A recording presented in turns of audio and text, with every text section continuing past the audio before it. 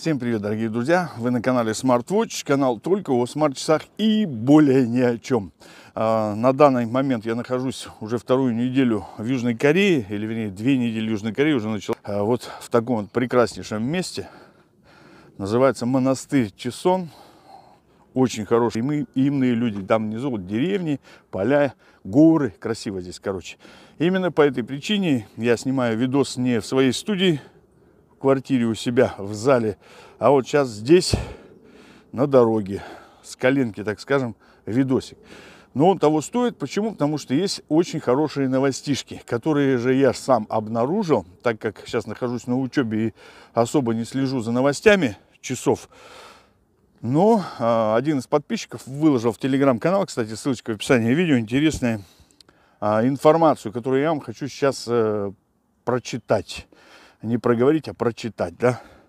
А что же за информация? Умные часы Galaxy Watch 7, уже о них даже есть, дорогие друзья, информация, да, обойдут смартфоны Galaxy S24 и все остальные смартфоны с Android. Часы получат трехнанометровую платформу. Вот так вот, дорогие друзья. Вот такая эта информация. И читаю дальше. Компания Apple уже а, продает смартфоны с данной платформой, которая производится по нормам 3 нанометров. И в ближайшее время по этому показателю у нее не будет конкурентов на рынке смартфонов в принципе. Однако, судя по свежим данным, трехнанометровая платформа может быть у а, новых умных часов а, Samsung. Ну, получается Samsung Galaxy а, Watch 7. Как сообщается, корейский гигант выпустит свою первую платформу э, с 3 нанометрами именно для умных часов.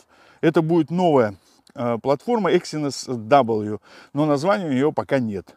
При этом Exynos 24.2.0, на которых будут основаны смартфоны Galaxy S24, как и Snapdragon 8 Gen 3, будет производиться по э, платформе 4 нанометров. Таким образом, Galaxy Watch 7 видимо, обгонит весь рынок умных часов, так как никакая модель сейчас не имеет 3-нанометровой платформы, а заодно и весь рынок смартфонов с Android. Переход на нормы 3 нанометра позволит сделать новую платформу более энергоэффективной для умных часов. Это крайне критично.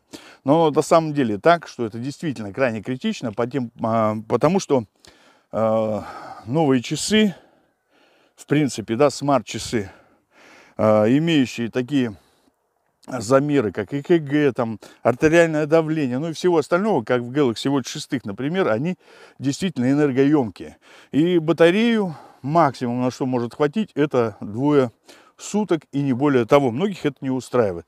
Другие говорят, что да вот, я себе купил часы, там, и они у меня неделю держат. Я хочу вам сказать, что у этих часов, которые держат неделю, нет таких, э, так скажем, вычислительных процессов и замерительных датчиков, как на Galaxy Watch 7 с таким потенциалом часы, вот как Galaxy Watch 6, вернее, да, они никогда не смогут на данном этапе держать неделю.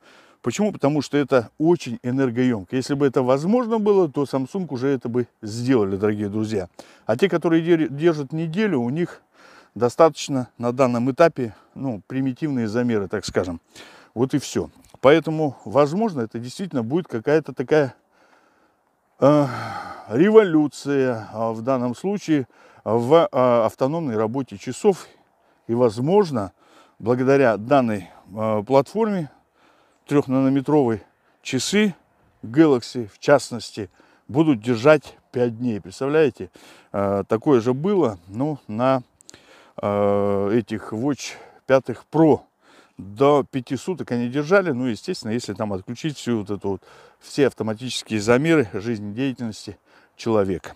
Но будем надеяться, что все-таки это будет правда.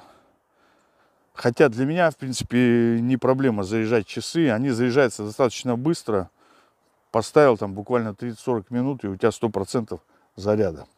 Но, тем не менее, если они будут держать дольше, то я буду только рад.